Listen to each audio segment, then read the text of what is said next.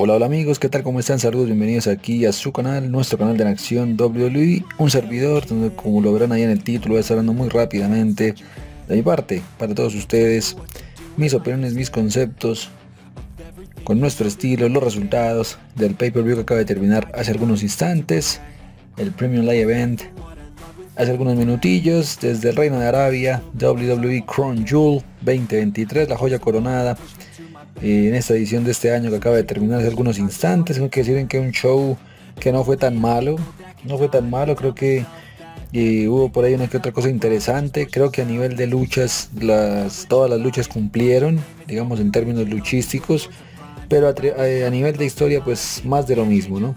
WWE no tiene de pronto mayor sorpresa. Vamos a comentarlo muy rápidamente, pero como les digo, a nivel de luchas como tal, meramente lucha, creo que el show fue, fue sólido en todos sus combates, fue, fue entretenido.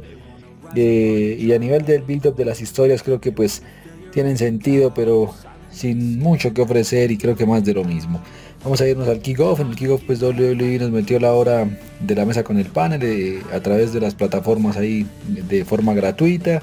Y pues nos metían la lucha entre Sami Zayn enfrentándose a JD McDonagh el nuevo miembro del Judgment Day, Día del Juicio, pues una lucha que fue buena en el kickoff, creo que les dieron una buena cantidad de tiempo, casi 15 minutos, si no estoy mal por ahí, pero se me hizo un combate entretenido, empezó bien, creo que la gente respondió bien con Sami Zayn, creo que lo recibieron bien, me sorprendió de toda la polémica que había desatado en el pasado y todo eso, pero creo que lo apoyaron en, su gran mayoría, muy pocos con JD McDonagh, pero creo que se desenvolvieron bien, McDonagh aunque es un luchador tipo crucero tiene cosas interesantes a nivel de lucha. Y pues Zayn ya sabemos que tiene calidad. Es un luchador estancado ahí en el mid-car. Pero bueno, un combate entretenido en el kickoff y pues Sami Zayn se lleva el match. Creo que era lo que es lo correcto, no hay nada más que decir. Más adelantico tendría ahí en el opener precisamente una intervención en el siguiente combate. Entramos de esa manera al card oficial del Crown Jewel y pues WWE nos abría con la lucha a mi sorpresa por el campeonato mundial pesado una de las luchas sólidas de la noche, pero creo que muy abajo en el cartel. Me sorprendió que abrieran con esta lucha, pero bueno. Eh, el World Heavyweight Championship en la línea, el campeón Seth Freaking Rollins, todo el mundo cantando su tema, enfrentándose el estrambódico Seth Rollins a el psicópata escocés, el hombre de los Broken Dreams, uno de mis caballos favoritos, Drew McIntyre, una lucha que fue sólida, esperaba un poco más entre ellos, pero termina siendo de las luchas más sólidas de la noche, muy buen opener, Creo que se le dejó muy bien el muy buena apertura al show para que tuviera un nivel parejo de aquí en adelante. Muy buena cantidad de tiempo, la gente muy conectada, casi un 50 y 50 me atrevería a decir. Obviamente más ruido con el tema de Rollins, pero muchos con Drew, muchos con Rollins en el ring. Pues buen accionar, Drew McIntyre muy cerca de ganar en varios tramos. Rollins por ahí también con su, con su estilo. Drew McIntyre pues obviamente un luchador mucho más pesado, más dominante que Rollins. Le hizo frente. La lucha fue buena, fue buena, fue buen opener. Creo que pueden dar más si es que quieren un rematch en Survivor Series, que puede, parece ser la próxima parada en un estilo War Games, ya lo anunciaron, allá en Chicago. y pues bueno, Drew McIntyre cerca, pero otra vez el sueño se apaga, se rompe otra vez el sueño. Eso sí me parece muy difícil de reponer para Drew. Vamos a ver qué es lo que hacen, pero Finalmente pues Drew McIntyre sale derrotado. Seth Rollins se lleva el match con un pedigree un Strom. Retiene después de salvarse de la Claymore dos veces. Pues McIntyre por ahí también había soportado ataques de Rollins, pero no puede soportarlo ahí al final. Y Seth Rollins cubre 1, 2, 3 y de forma limpia derrota a Drew McIntyre. Un muy buen opener, de lo mejor de este Crown Jewel, de las mejores luchas, aunque fue parejo. Y lo que les digo, creo que a nivel de la historia, pues el reinado de Rollins está siendo bueno. Pero con Drew creo que tienen que, reivindicarse con Drew. Otra derrota, no sé, muy débil obviamente. Drew McIntyre es inminente que ya se va a volver heel. Creo que le casa mejor el personaje de, de heel, como en sus, inicios. Eh, al elegido prácticamente. Obviamente en otro nivel. Pero no sé, otra derrota. Creo que se ve muy débil Drew McIntyre y esperemos que en algún momento, si no es que en el próximo pay-per-view capture el título mundial, creo que le casa a la perfección, pero creo que el build fue o es muy bajito con Drew. se ve muy débil, vamos a ver qué es lo que hacen aquí. Y si es que Drew McIntyre sorprende por ahí uniéndose al Judgment Day, para esos pinitos que están jugando con eso. Vamos a ver y pues Seth freaking Rollins retiene el título. Vamos a, vamos a ver si hay rematch en tres semanas en la serie de sobrevivientes. La segunda lucha de la noche y pegada también pues por el título mundial, pero esta vez femenino. La campeona Mami, Rhea Ripley, enfrentando a Nia Jax, Rocky, Raquel Rodríguez, Shayna Baszler, la reina de espadas, y la tipa, Zoe Stark. Una lucha de mujeres que también creo que fue bien. Eh, nada del otro mundo, pero tampoco estuvo malo. Creo que el fogueo estuvo bien. La gente recibió bien a las chicas. Hubieron buenos spots y creo que eso le subió eh, el, el plus a la lucha. Y también les dieron buena cantidad de tiempo. Creo que tuvo esa particularidad este, este Crown Jewel. Todas las luchas tuvieron buen tiempo. Y ninguna pues cortica. incluso hasta los segmentos tuvieron buen tiempo por ahí. Pero creo que fue una lucha bien entre las chicas. Vamos a ver ahí qué es lo que pasa. Si Nia Jax se posiciona como retadora en solitario. O por ahí una triple amenaza contra Raquel o algo así. Vamos a ver cerca de ganar todas, por ahí más cerquita Naya y Raquel, aunque Shotzi, perdón, aunque Zoe Stark y Shayna muy cerquita por ahí también, aunque en menos escala o menor escala. Y pues finalmente es Rhea Ripley la que logra vencer, creo que era cantado, retiene el título. Y Mami, un reinado que no está haciendo del otro mundo tampoco malo, más bien flojo. Y pues una victoria aquí creo que la impulsa un poquito más, la trata de solidificar. Y pues Rhea Ripley con una entrada bien particular que tuvo, estuvo bien, se lleva el match y retiene, vamos a ver qué será lo próximo, camino a Survivor Series. La tercera lucha de la noche es el single match entre el líder del Senation John Cena enfrentándose a Zolo Sikoa, una lucha que también fue buena, muy diferente a lo que nos brindó Cena contra mm, eh, Austin Theory en WrestleMania, que fue un bodrio. Aquí creo que le echó más ganas les dieron buena cantidad de tiempo y aunque estuvo un poco lento el trámite, creo que fue subiendo, obviamente la gente muy volcada con Cina, casi todo el mundo, algunos con solo, pero creo que la lucha termina siendo mucho mejor que esa que tuvo en WrestleMania Cina. Eh, pronto ya la preparación, el estar más, más tiempo como tal entrenando y demás, creo que se le nota a aunque no obviamente a su nivel de siempre, obviamente ya el tiempo le pasa factura pero siempre es una gran atracción ver a Sina, sigue moviendo a la gente, es terrible, pues increíble el imán que tiene Sina para esto, hay que admitirlo. Y pues solo Sikoa, un talento joven que tiene tremendo potencial, prácticamente el nuevo Umaga, lo quieren vender así. Aquí prostituyó el Samoan Spike, pero bueno, mm, exageró con el finisher. Pero bueno, Sina por ahí cerca de ganar, aunque Sikoa dominó mucho más el combate. Y pues finalmente, a mi sorpresa, creo que no está tan malo a nivel de historia, a nivel de booking. Creo que Sina quiere empezar a impulsar a los chicos o a los talentos jóvenes, eso está bien. Aumenta su racha de días como sin conseguir una victoria, creo que está jugando con eso por ahí. Y en el build creo que pues si Sina ganaba estaba bien, su primera aparición en Arabia, una victoria individual después de mucho tiempo, pero bueno, finalmente solo Siko al quien vence, creo que también le sirve para que muestren, lo ganó limpiamente y dominante, creo que demostrando que fuera del Bloodline pues hay futuro, entonces por ese lado creo que puede tener sentido, no está mal la decisión, lo que sí no me gustó fue cómo prostituyó el finisher ahí a lo último, prácticamente masacrando a Cena, y no me gustó digamos ese, ese, ese buqueo ahí con tantos Samoanes, pues creo que fueron 8 o 9 consecutivos, ahí es un poquito exagerado, pero bueno. Al final pues es solo Sikoa el que vence a Cena.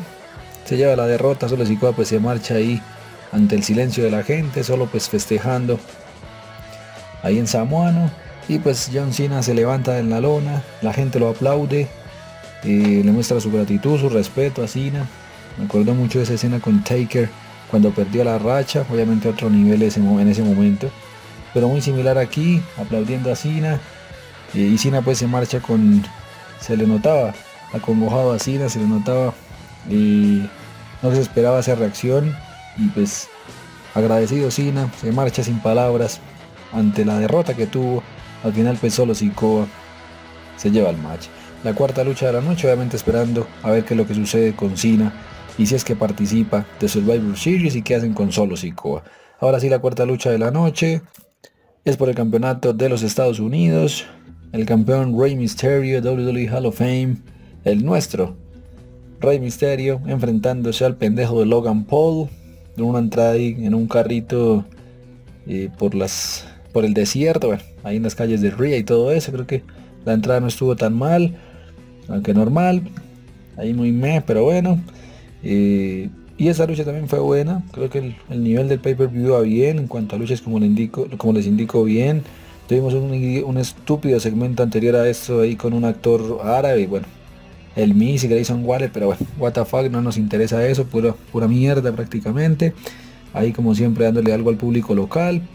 Mencionaron por ahí también a Cristiano Ronaldo. Obviamente había muchas especulaciones en que Cristiano iba a aparecer. Al fin no fue así. Eh, pero bueno, un segmento idiota. Y pues pasábamos a esta lucha que también fue interesante. Eh, muy buena, creo que estuvo bien. Buen ritmo entre los dos, creo que hubo química. Si hay un rematch por ahí, pues podría ser la, cosa. No estuvo tan mal. La gente conectada con Rey, aunque muchos también con Logan, hay que decirlo. Eh, por ahí un 60-40, por así decirlo. Pero creo que fue una lucha interesante. Creo que aquí a nivel del, del build iban bien. La lucha de Cena un poquitico como que me armó eh, el que hubiera perdido cine se marchara en silencio creo que me armó un poquitico el, plus del pay-per-view. Pero bueno, ahí lo levantaron rápidamente. Misterio cerca de retener en muchas ocasiones. Y Logan Paul por ahí con su viejo amigo, su vieja compañera, la manopla. Muy al estilo SummerSlam cuando derrotó a Ricochet, si no estoy mal. Y ha utilizado este segmento en varias oportunidades. La más significativa esa. Con Indy, Indy Harwell y todo eso ahí. Eh, o mejor Samantha, la novia de, Ricochet, la anunciadora de Rock, que es tremenda chica. Bueno, este ese cuento. y aquí pues vuelve y la utiliza y se la alcanzó un, asistente prácticamente. Un aliado ahí de Paul, de Logan Paul. Misterio pues viene a explicarle el 619, va a rematar con el impacto de la costa. Y Logan Paul lo masacra con un derechazo con la manopla. No queda Misterio. 1, 2, 3 y tenemos nuevo campeón de Estados Unidos. Creo que era muy cantado. y Logan Paul iba a ser el nuevo campeón. Y al final pues al parecer descartan ese build entre eh, Misterio, el WO, eh, los Street Profits y Lashley. Vamos a ver qué hacen. Y pues ahora es Logan Paul el que gana el título de los Estados Unidos fuera de los Estados Unidos. Un dato curioso, algo random ahí. Pero bueno, Logan Paul nuevo campeón. Vamos a ver qué es lo que pasa. Creo que esto no afecta a Misterio. Que ya sabemos que es una leyenda. Está en tremenda forma Misterio. Si le sigue si sigan esa forma creo que puede darle para varios años más o para rato. Muy bien por Rey. Por ahí también apareció Santos Escobar, hay que mencionarlo. Pero pues finalmente es Logan Paul, nuevo campeón de Estados Unidos. Vamos a ver qué pasa. La quinta lucha de la noche es por el campeonato femenino de WWE, la campeona, la Genius of the Sky, la maga de los cielos, Io Sky o Io Shirai, enfrentándose la hermosa a Bianca Belair la superlativa, una lucha también buena, empezó un poquitico flojita, creo que aquí la gente, este fue el combate como de menos reacciones, de hecho ahí Sky la estaban abuchando, me, sorprendió, y aunque a Bianca la apoyaban no hubo mucho apoyo, no creo que este fue el punto muerto por así decirlo el pay-per-view, eh, al inicio, porque ya después con el regreso que tuvimos levantó, levantó mucho la vara, y aunque la gente pensé que no iban a, saber por ahí de pronto mucho del regreso que hubo, reaccionó bien y aquí le subió el plus, ¿no? Una sorpresa, sinceramente. Y buena, creo que estuvo bien, vamos a ver qué es lo que pasa. En términos de lucha, enfocándonos en ello, creo que fue buena. Empezó lenta, la gente apagada al principio, este fue el punto muerto del pay-per-view. La gente se empezó como a retirar, ahí se veían las graderías, bueno. No sé, estuvo algo manchada la lucha por ello, pero el accionar de las chicas era bueno. Les dieron buena cantidad de tiempo, habían que hablar con su potencia física, ya está totalmente recuperada. Sabemos que tiene tremendo talento esta chica Bianca Belair, ya se sabe. En Ruines de las mejores. Eh, por ahí con la nueva contratación eh, y Charlotte ya sabemos que a nivel de lucha pues son tremendas. Y a nivel de atletismo, por así decirlo. O atleticismo, como se diga. Eh, son tremendas. Y pues Io Sky, hermosa, también tiene un talento tremendo. Io Sky, de mis chicas favoritas. Eh, y pues muy buen combate, la verdad. Se manchó fue por ese aspecto de la gente, bajo el plus. Las chicas también como que sintieron el golpe. Pero ya después aparece Bailey, que se veía tremenda, se veía muy hot. Bailey con sus pantalones ajustados, tremenda, se ve muy hot. Y pues la sorpresa de la noche es que una encapuchada prácticamente aparecía ahí también atacando a, a Bianca después de los ataques de, de, de Bailey Bianca se logra deshacer de Bailey. Que esperemos le den algo también a la chica Hill, la reina del Damage Control. Y es una encapuchada la que aparece, se descubre el rostro y es la sorpresa de el regreso de Kairi Sane, la princesita pirata, tremendo regreso y tremenda dupla que armaron ahí. Hermosas estas dos chicas asiáticas, aparte súper talentosas. Y vamos a ver si aprovechan mejor a Kairi Sane en su segundo run prácticamente en WWE. Ahora al mando de Triple H por así decirlo. Y pues prácticamente anoten en las asistencias gracias a Kairi Sane que la maga de los cielos aplica su finisher desde la tercera. 1, 2, 3 y Sky retiene el título y sigue reinando. Creo que lo que no me ha gustado es que ha retenido con mucha trampa. Sabemos que tiene calidad, es chiquita pero picuda está esta Sky es tremenda en Real, me encanta. Y ahora con, con eh, Kairi puede ser una muy buena sociedad. Incluso Bailey también estaba sorprendida. creo que fue una jugada y planeada por Io Sky solita, por así decirlo. La tenía ella solita en su, en su plan. Y pues esta unión ahí con Bailey también sorprendida. Obviamente Bianca derrotada. Y Io Sky retiene el campeonato. Gran regreso el de Kairi Sane, me sorprendió, fue bueno. Este lo se ve el plus al match, que termina siendo bien. Y pues vamos a ver qué sucede de aquí en adelante. Y camino al Survivor Series. Y Sky retiene. Vamos a las dos estelares. La sexta lucha de la noche es el single match entre el señor Money the Bank, Damian Priest, enfrentando a Cody Rowe. Recordemos que Sami Zayn le robó el maletín ahí entre las gradas en el opener. Bueno, evitó el canjeo. Ahí jugaron al canjeo y lo evitó. Y se robó el maletín y se fue. Y pues Damian Priest llegó sin maletín, únicamente con la mitad de los títulos en parejas. Eh, y pues enfrentándose a la pesadilla americana, el gran Cody Rhodes. También buena lucha, creo que el build-up de Kai Design subió un poquito y esa lucha también subió. Creo que esta lucha junto al Opener fueron las únicas que cantaron DC Sasson. Y pues tampoco fue del otro mundo, pero creo que fue bien. Se vio buena química entre los dos. Eh, muy repetitivo el tema de que llegó Finn Balor, también llegó Dominic, otra vez JD, bueno, muy repetitivo eso todos los lunes lo vemos en Raw, en SmackDown, bueno, en los pay-per-view lo hemos visto. Y ahí es donde les escapan esos pequeños detalles a la WWE de querer hacer siempre lo mismo, ¿no? Pero bueno, Damian Priest trató ahí de dar la ofensiva. Rose también, el combate termina siendo entretenido. Subió el plus para darle paso al main event. Damian Priest cerca de ganar, muy buenos spots. Eh, obviamente también apareció Jay Main Event, entre comillas y muy grandes comillas. Eh, Jay Uso, por ahí despistó a los miembros del, del Judgment Day, lo sacó a perder. Y pues Cody Rose aprovechó esto, ya mano a mano con Priest, que pudo haber ganado en muchos tramos, pero finalmente es la pesadilla, con el espíritu de su padre, el sueño americano, es la pesadilla Rose. Ahora 1, 2, 3 Crow Rose y pues Cody Rose vence, se lleva el match, creo que era cantado, es buena decisión, aunque también vamos a ver qué hacen con Priest y si eh, lo ponen a canjear el maletín, puede ser un campeón de transición de aquí a WrestleMania, vamos a ver, sería bueno el, buqueo de dándole el campeonato por ahí a McDonald's con Finn Balor de parejas y pues que Priest fuera campeón del mundo. Y vamos a ver también qué hacen ahí con McIntyre, bueno, todo eso alrededor de Rollins. Al final pues Priest sale derrotado y es Cody Rhodes el que se lleva el match.